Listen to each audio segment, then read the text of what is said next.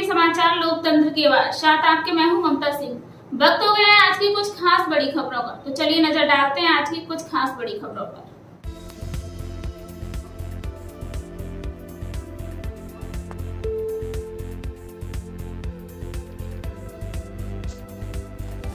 नमस्कार, आप देख रहे हैं लाइव टीवी समाचार। मैं हूँ पुनीता मिश्रा, आपके साथ।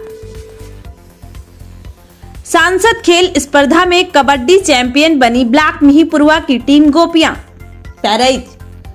सांसद खेल स्पर्धा अंतर्गत संचालित जिला स्तरीय खेल प्रतियोगिताओं के विभिन्न खेल विधाओं का आयोजन इंदिरा स्टेडियम बहराइच में किया गया।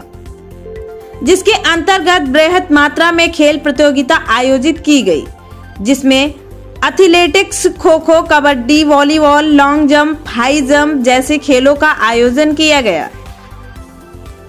जिसमें कबड्डी प्रतियोगिता जूनियर, सीनियर में नेहरू युवा केंद्र बहराइच से संबद्ध विकासखंड मिहीपुरवा के युवा मंडल गोपिया की टीम ने जनपद में प्रथम स्थान हासिल किया।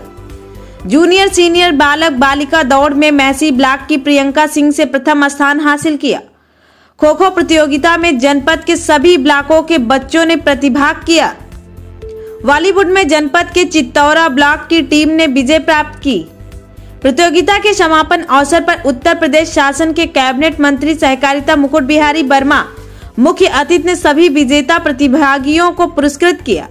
इस अवसर पर लोकसभा बहराइच के सांसद अछैवर लाल गौड़ ने सभी प्रतिभागियों को अपने उद्बोधन से प्रोत्साहित किया।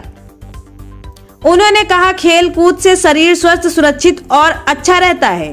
बीमारियों से बचाव रहता है, इसलिए सब प्रथम खेलकूद व्यायाम बहुत आवश्यक है।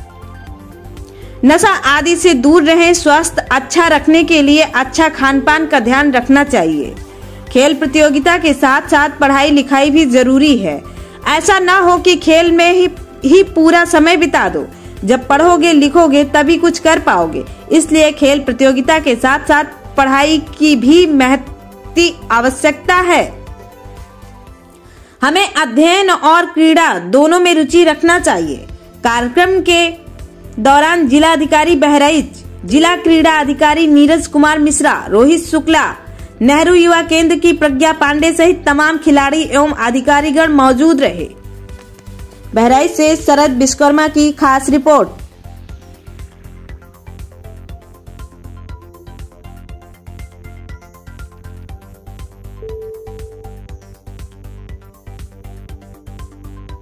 अब तक के लिए बस इतना ही, रुकेंगे एक छोटे से ब्रेक के लिए। थोड़ी देर में फिर से हाजिर होंगे ऐसे ही कुछ खास खबरों के साथ। तब तक के लिए नमस्कार।